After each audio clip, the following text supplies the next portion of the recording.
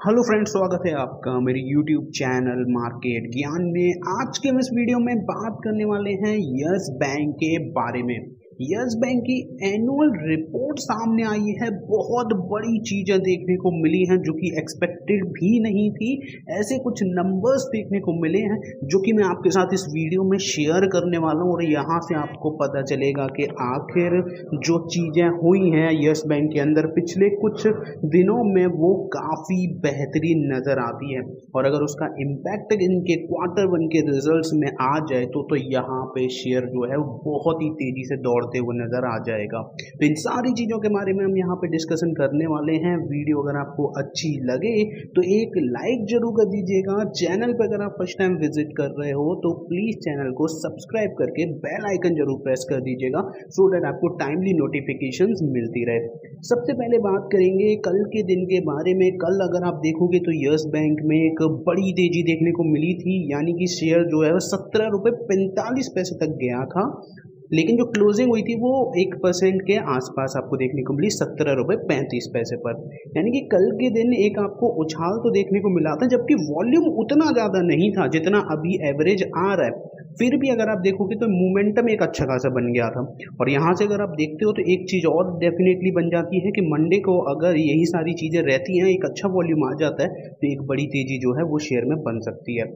Directly एक एक करके अपडेट्स पर आपको लेके चलता हूँ। अब सबसे पहली अपडेट निकल के आती है इनके क्वार्टर वन के नंबर्स से यहाँ पे यस बैंक की तरफ़ से फाइनली डेट दे दी है। मैंने कल के दिन आपको बता दिया था वीडियो के थ्रू यहाँ पे अगर आप देखोगे 22 जुलाई, यानी कि सैटरडे को जो, अगले हफ़्ते जो आएगा, शनिवार को, वहाँ पे आपको क्वार्टर वन के नंबर्स देखने को मिलेंगे यस बैंक के। और जिस अकॉर्डिंग अभी स्नैपशॉट्स वगैरह आए हुए थे, उससे तो लग रहा है कि यहाँ पे जो यस बैंक के नंबर्स हैं वो काफ़ी ज़्यादा पॉजिटिव आएँगे। बाकी पिछली बार भी आपको पॉजिटिव नंबर्स ही देखने को मिले थे, लेकिन बस प्रोविजनिंग की वजह से प्रॉफिटेबिलिटी हैम्पर हुई थी। एक्सपेक्टेशन लगा के चलते हैं कि शायद इस बार ये चीज़ें ना हो और एक बार फिर से जो यस बैंक की प्रॉफिटेबिलिटी है वो इंक्रीज हो जाए सो डैट यहाँ पे जिन भी लोगों ने इन्वेस्टमेंट किया हुआ है, उनके शेयर प्राइस के थ्रू उनका इन्वेस्टमेंट भी इंक्रीज हो जाए।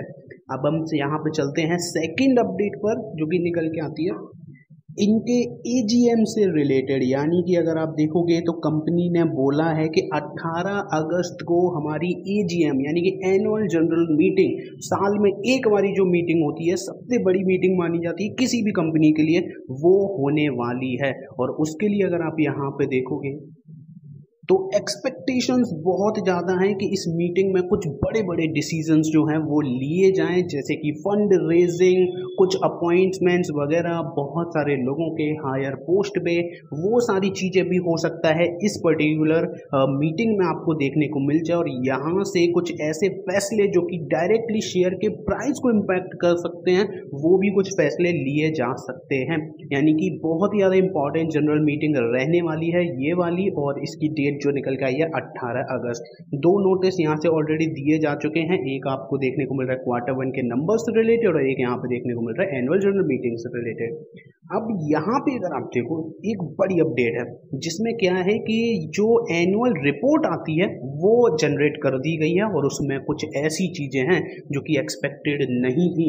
सबसे पहले आप यहाँ पे देखोगे नोटिस के थ्रू जो ऑर्डिनरी बिज़नेस है, उनमें जो भी चेंजेस वगैरह हुए हैं, वो यहाँ पे बताए गए हैं। साथ के साथ जो ऑर्डिनरी बिज़नेस के थ्रू अगर आप देखोगे तो मिस्टर सुनील कॉल को यहाँ पे as a director in place appoint किया जा रहा है, जो कि अगर आप देखोगे तो रिटायर्स हुए थे by rotation and being eligible offer himself for the reappointment ठीक है तो यहाँ पे ये सारी चीज़ें देखने को मिल रही हैं। फिर अगर आप देखोगे तो यहाँ पे कुछ स्पेशल जो ऑर्डिनरी जो स्पेशल रेजोल्यूशन होते हैं, उसके थ्रू भी अगर आप यहाँ पे देखोगे तो जो अप्रूवल है, वो स्टेट बैंक ऑफ़ इंडिया के साथ भी बहुत सारी चीज़ों के साथ लिया जा सकता है। ठीक है? तो ये सारी चीज़ें भी यहाँ मेंशन करी गई है। लेकिन अब जो आता है, वो आता है मेन हाईलाइट यानी कि 2022-23 फाइनेंशियल ईयर की मेन हाईलाइट क्या रही है? वो ये है कि कंपनी की टोटल नेट इनकम जो है वो ग्यारह हज़ार आठ सौ चवालीस eleven thousand eight forty four crore रही है। ऑपरेटिंग प्रॉफिट कितना रहा है? Three thousand one eighty three crore रहा है। और साथ के साथ नेट प्रॉफिट कितना रहा है? सेवन सेवनटीन करोड़ रहा है। यानी कि अगर आप देखोगे तो प्रोविजनिंग की वजह से चीज़ें ज़रूर खराब हुई थी, लेकिन उतना अगर आप देखोगे तो इम्पैक्ट नहीं पड़ा फिर अगर हम यहाँ पे देखते हैं, जो न्यू सेंक्शन या डिसबर्समेंट हुआ है, ये सबसे बड़ी चीज़ है, करीबन एक लाख करोड़, वन लाख करोड़ के न्यू डिसबर्समेंट हुए हैं। साथ के साथ नेट एनपीए अब केवल रह गए हैं पॉइंट एट परसेंट यानी कि एक परसेंट से भी कम हो चुके हैं। सी ए आर यानी कि कैपिटल एडिक्वेसी रेशियो रह गया है सेवनटीन पॉइंट नाइन बहुत ही बड़ा इंप्रूवमेंट यहाँ पे। कासा रेशियो 30.8 परसेंट ये भी बेहतरीन है। और अगर आप देखोगे तो रिटेल और एसएमई सेगमेंट में अगर हम टोटल एडवांसेस का शेयर देखते हैं तो वो 59 परसेंट के आसपास निकल के आता है। बहुत बड़ा इंप्रूवमेंट इन्होंने, जो फोकस करके किया है, इस सेगमेंट में बहुत ज़्यादा इंप्रेसिव नज़र आता है। फिर अगर आप यहाँ पे देखते हो तो और भी बहुत सारी चीज़ें हुई हैं, जैसे कि new age private sector bank में, जो यानी कि यस बैंक में करीबन 7.5 मिलियन मिलियन कस्टमर्स जुड़े हुए हैं। और अगर आप देखते हो, इनके टोटल एसेट्स टोटल एडवांसेस यहाँ पे मैंशनड है। साथ के साथ शेयर इन एडवांस 59 परसेंट है और कॉरपोरेट और जो बड़े कॉरपोरेट हाउसेज हैं, वहाँ भी आपको यहाँ पे देखने को मिल रहा है नंबर्स साथ के साथ अब बात करते हैं नंबर वन कहाँ कहाँ पर है। नंबर वन है यूपीआई सेगमेंट में। मैंने आपको पहले ही बताया था कि वन थर्ड शेयर है इनके पास मार्केट का। नंबर वन है नेफ्ट आउटवर्ड यानी कि N E F T outward में भी ये नंबर वन नज़र आती है। नंबर टू कहाँ पर है? Among the large size bank in the best place to work in India ये एम्प्लॉयज़ पर्पज़ के लिए बेहतरीन चीज़ निकल के आती है। फिर और अगर आप देखोगे तो रैंक वगैरह मेंशन है। यहाँ पे ब्रांचेस बैंकिंग आउटलेट सिटीज़ ये सारी चीज़ें मेंशन करी गई हैं।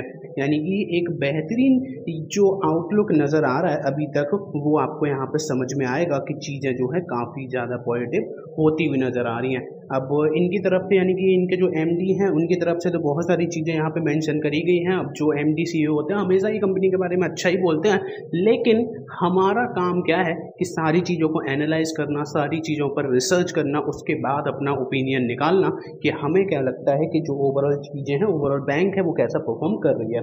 देखो एनुअल रिपोर्ट में तो चीज़ें बहुत ज़्यादा सही नज़र आ रही हैं, लेकिन अब यहाँ से एक चीज़ और है कि जब क्वार्टर वन के नंबर्स आएँगे, तब काफ़ी कुछ क्लैरिटी मिल जाएगी कि हाँ ये प्रोविजनिंग वाला सिनेरियो हमेशा ही होता रहेगा तो फिर तो दिक्कत हो जाएगी तो फिर तो कुछ और स्ट्रेटेजी बनानी पड़ेगी। लेकिन हाँ इस बार अगर प्रोविजनिंग में चीज़ें सही कर दी नेट प्रॉफिट इंक्रीज हो गया तो फिर यहाँ से सिनेरियो पॉजिटिव बनते हुए नज़र आ सकता है।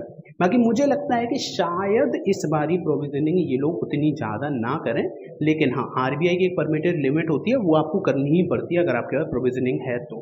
तो इस बारी अगर इन्होंने अच्छा काम कर लिया वो उस चीज़ पर, पिछले क्वार्टर नंबर्स के देखकर तो चीज़ें मेरे ख्याल से पॉजिटिव हो जाएँगी अदरवाइज़ वो फिर से नेगेटिव ही रहने वाली है। बाकी आपका ओपिनियन क्या है कमेंट में आप ज़रूर मेंशन करिए। तो वीडियो में फ़िलहाल इतना ही। वीडियो अगर आपको अच्छी लगे तो एक लाइक ज़रूर कर दीजिएगा। चैनल को फ़र्स्ट टाइम विज़िट कर रहे हो सब्सक्राइब ज़रूर कर दीजिएगा। धन्यवाद।